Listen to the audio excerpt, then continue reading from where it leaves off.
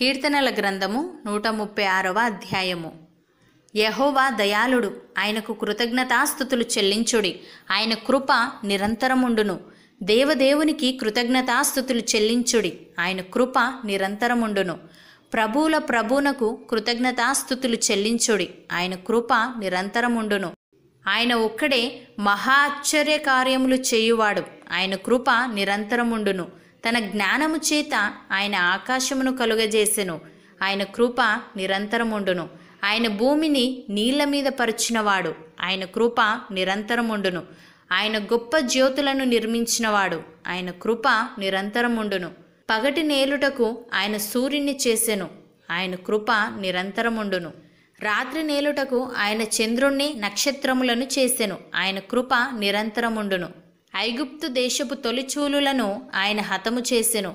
ఆయన కృప నిరంతరముండును. వారి మధ్య నుండి ఇజ్రాయేలీయులను ఆయన రప్పించెను. ఆయన కృప నిరంతరముండును. చేయి చాచి తన బాహుబలము చేత వారిని రప్పించెను. ఆయన కృప నిరంతరముండును. ఎర్ర సముద్రమును ఆయన పాయలుగా చీల్చెను. ఆయన కృప నిరంతరముండును. ఆయన ఇజ్రాయేలీయులను దాని నడుమ దాటిపోజేసెను. ఆయన కృప నిరంతరముండును. ఫరోను అతని సైన్యమును ఎర్ర సముద్రములో ఆయన ముంచివేసెను. ఆయన కృప నిరంతరముండును.